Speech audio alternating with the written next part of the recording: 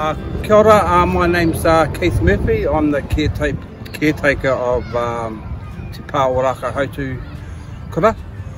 Um, I've been hired here as a gardener and when I got here we only had one medium-sized garden inside the school and now we've still got that one which has got, got a lot bigger and now we have a bigger garden on the field with um, our sustainability centre behind me. So basically I want to get our tamariki back in the maara, uh, grow our kai, um, and obviously cook our kai, and just more sustainable living and healthy.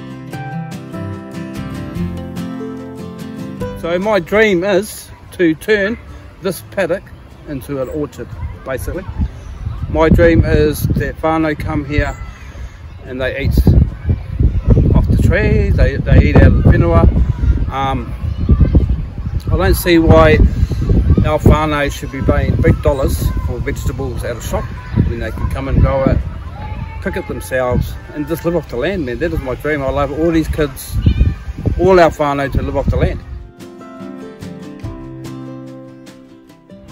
So our our babies, we've been here on our site now. I've been doing this for the last six years.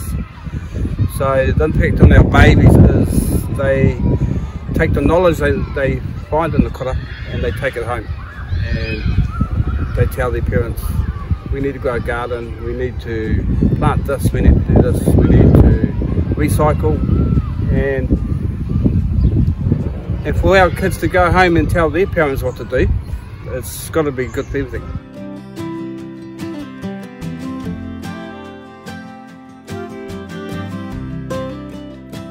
Our school provides lunches, so we have a hot meal every day um, for our lunches and our kids brings the scraps from, from the kitchen, from the leftovers, and they bring it out here in into our sustainability centre and we turn it into compost. And again, that compost is used for our maara, so it's a big, big cycle, big cycle.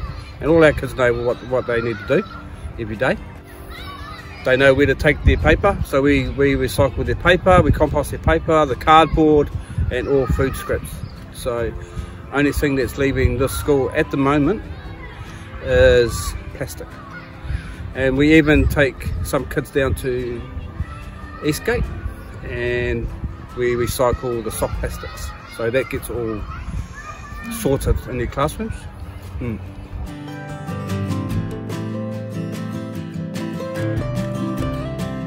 At the beginning we were filling um, 480 litres of um, recycled waste going to the dump.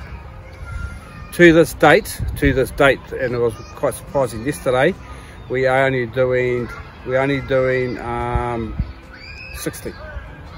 Yeah, so everything else is getting recycled. So our um, Udawal uh, teenagers, they're doing NCEA or business studies. So we have made these compost piles um, and they have to figure out a business plan, uh, motto, um, how to sell it so that we can sell our, our compost to whānau. So our whānau have um, jumped on board as well. So we do a couple of composting fundraisers. So where they bring in their green waste from their own homes, bring it in, help us build a compost. Um, at the end of the day, hopefully they come back and buy it. But we've had oh, two weeks of fundraising and we've had whānau join in to help us and a lot of them are now, there is one whānau at the moment who's making their own compost at home. We just need to get the word out that it's easy.